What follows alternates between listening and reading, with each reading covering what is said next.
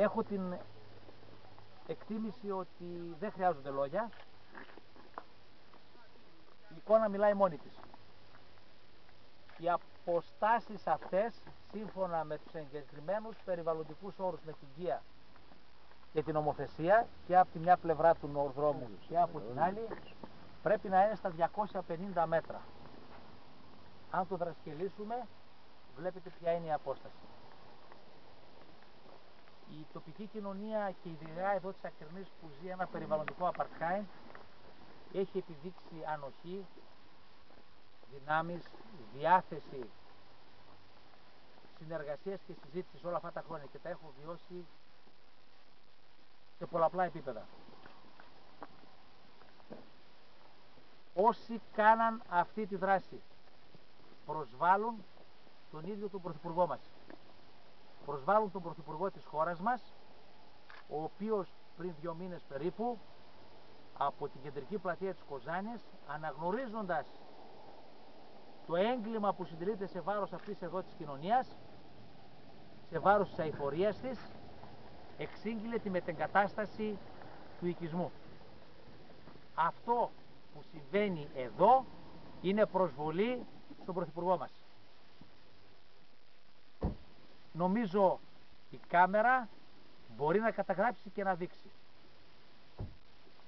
Η εκτίμηση ότι η νομαρχιακή αυτοδιοίκηση Κοζάνης, ο Δήμος Ελισπόντου, ο κάθε θεσμικός φορέας θα αυτοκαταργηθεί είναι λαθεμένη.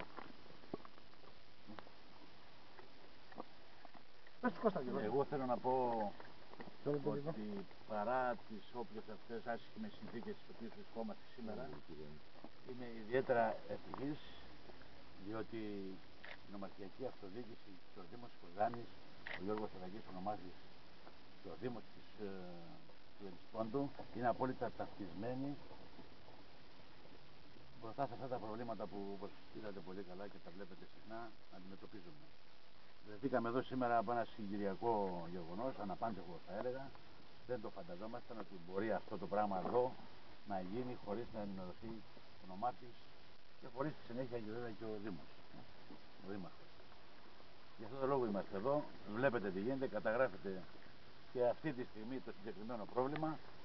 Διότι τα προβλήματα δεν είναι μόνο αυτά, μόνο αυτό είναι διαχρονικά, είναι πάρα πολλά περιβαλλοντικά. Ένα σωρό τα ξέρετε, δεν χρειάζεται να επαναλάβω. Προσυπογράφω απολύτως όσα ο φίλος μου ο νομάρχης ο Γιώργος Σοδακής σας είπε και πρέπει να διαβεβαιώσουμε και σε εσάς αλλά και σε όλους τους κατοίκους που μας ακούνε και σε όλους τους ανθρώπους της ευρύτερης περιοχής ότι εμείς είμαστε εδώ τα, ταγμένοι να υπηρετήσουμε με ό,τι αυτό σημαίνει πιστά τα συμφέροντα και την ζωή αυτών των κατοίκων.